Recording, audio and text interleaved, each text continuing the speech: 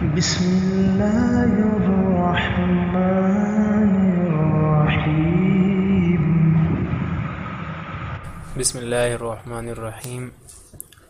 हरूफ आमिला की बहस हमने पढ़ ली है कि वो हरूफ जो अमल करते हैं। अब है हरूफ गैर आमिला।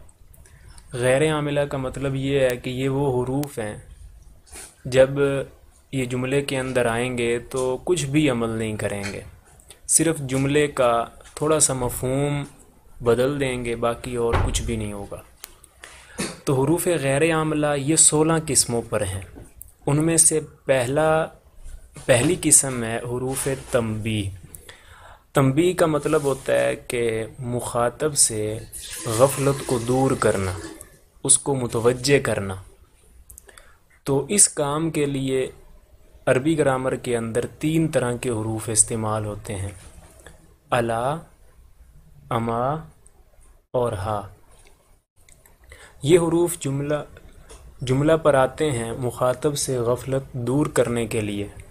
जैसे, अला जईदुन का इमन सुनो, जैद खड़ा है।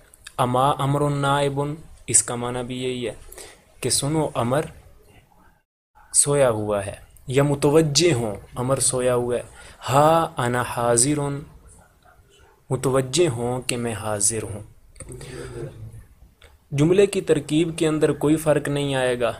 बस ये है कि कलाम के अंदर ज़रा पुख्तगी आ गई है। मुखातब से गफलत दूर करके उसको अपनी तरफ़ मुतवजह किया है। दूसरे नंबर पर हैं हरूफ ईजाब। ईजाब का मतलब होता है कि किसी बात के जवाब में बोले जाए। जैस इसके लिए जो हरूफ इस्तेमाल हो रहे हैं, वो छः तरह के हैं।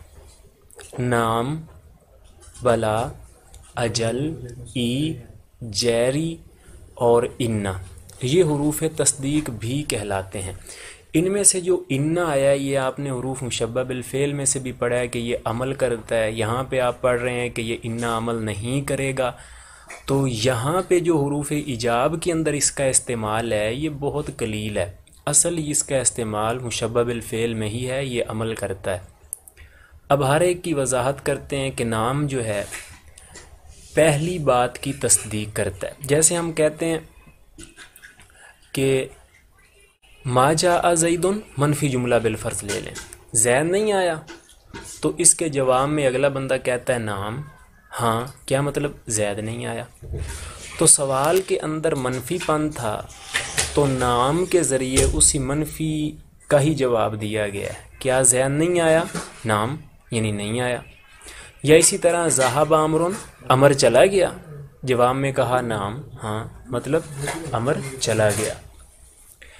तो नाम पहली बात की तस्दीक करता है। खा वो बात नफ़ी में हो या इस बात, यानी मुस्बत हो। जैसे कोई कहे, माजा अजईदन जैद नहीं आया? ये मनफी जुमला है। किसी से सवाल कर रहा है जैद नहीं आया। तो उसके जवाब में कहा जाएगा, नाम, यानी माजा अजईदन जैद नहीं आया। ऐसे ही जब कहा जाए, जहाब आमरुन, अमर चला गया तो उसके जवाब में कहा जाएगा, नाम हाँ यानी जहाब आमरुन, अमर चला गया है। तो ये जब नाम बोला जाता है तो जैसे हम कहें कि, क्या आप पाकिस्तानी हैं? जवाब में कहें, बिल्कुल हाँ। अब उसके जवाब के अंदर ये अगली बात सारी मौजूद होती है कि हाँ मैं पाकिस्तानी हूँ। लेकिन वो ये नहीं कहता मैं पाकिस्तानी, बस वो इतना कह देता है हाँ तो हाँ से भी उसकी बात पूरी हो जाती है।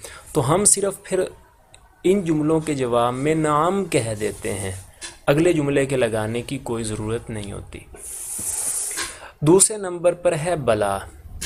मनफी के इस बात के लिए आता है। यानी पहले मनफी होती है बला आ के उसको मुस्बत कर देता है। इसकी मिसाल कुरान पाक में, अलस्तु बे रबी कुम क्या मैं तुम्हारा रब नहीं हूँ?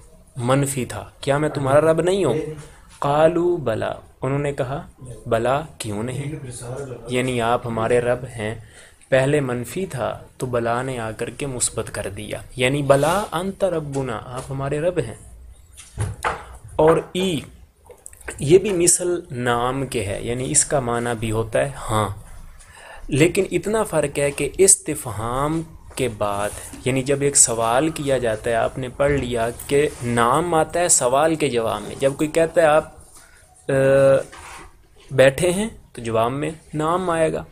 यानी जवाब में आता है नाम तो इसी तरह ई भी इस्तेफाम के बाद आता है लेकिन कसम के साथ आता है। ई के साथ कसम का इजाफा किया जाता है। जैसे कोई कहे, अकामा जईदुन क्या जैद खड़ा है?